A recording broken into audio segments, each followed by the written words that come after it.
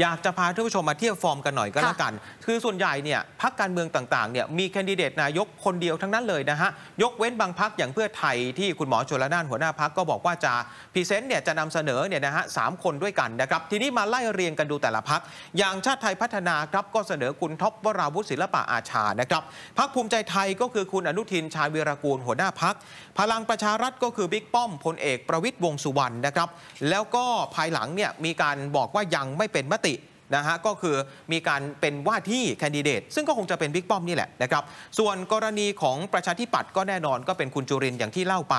รวมไทยสร้างชาติก็คงหนีไม่พ้นบิ๊กตู่พลเอกประยุทธ์จันทร์โอชา ส่วนเพื่อไทยเนี่ยก็น่าจะหนีไม่พ้นคุณอุ้งอิง กับคุณเศรษฐาทวีสิน ส่วนอีกคนจะเป็นใครก็ต้องรอลุ้นกัน ทีนี้พาท่านผู้ชมมาเทียบฟอร์มกันหน่อยฮะอย่างคุณจุรินเนี่ยเป็นสสมาถึง 11 สมัย อย่างที่คุณพลอยบอกเคยเป็นประธานวิฝ่ายค้าน ฝ่ายรัฐบาลมาแล้วนะฮะเป็นรัฐมนตรี 4 กระทรวง 6 ครั้ง การศึกษาเนี่ยปริญญาตรีจากธรรมศาสตร์นะฮะปอโทที่นิด้านะครับงานการเมืองก็คือหัวหน้าพักประชาธิปัตย์ในขณะที่คุณท็อปวราวุธรับเป็นสส4สมัย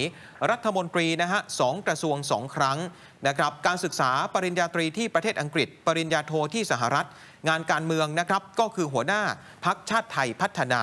พลเอกประวิทย์รับ ไม่เคยเป็นสสมาก่อนนะฮะ เป็นรัฐมนตรีกลาโหม เป็นรองนายกสองสมัย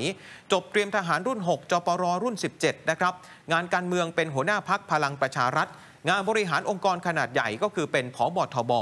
พลเอกประยุทธ์ครับไม่เคยเป็นสสเป็นนายกสองสมัย เตรียมทหารรุ่น 12จปรรุ่น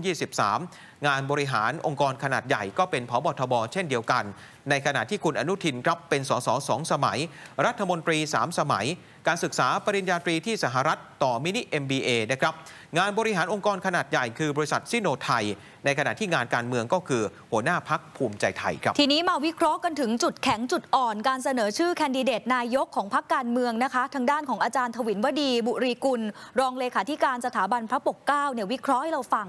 การเสนอคนเดียว บางพักที่เสนอคนเดียวเนี่ยอาจารย์มองว่าต้องเลือกคนที่ดึงคะแนนได้จริง ๆ หากภาพลักษณ์บุคคลนั้นแข็งแกร่ง ก็จะเป็นตัวช่วยพักดึงคะแนนได้ แต่จุดอ่อนก็มีนะ ก็คือไม่มีตัวเลือก ส่วนถ้าเกิดบางพักเสนอ 3 คนเนี่ยมองว่าสามารถกระจายให้คนเลือกได้ โดนใจหลายกลุ่มมากกว่า ถ้าสมมุติมีการวางตัวกันดีๆ ก็จะเหมือนกับสามเหลี่ยมรวมพลัง ครบสามเหลี่ยมสามด้าน แต่จุดอ่อนก็มีค่ะ ถ้าเสนอ 3 คน ก็คือประชาชนก็จะไม่มีความชัดเจนว่า 3 คนนี้ท้ายที่สุดใครคือนายกตัวจริงกันแน่ค่ะ ทีนี้มาดูคุณวราวุฒิศิลปะอาชานะครับ ก็เป็นแคนดิเดตนายกของพรรคชาติไทยพัฒนาแล้วก็เป็นหัวหน้าพักด้วย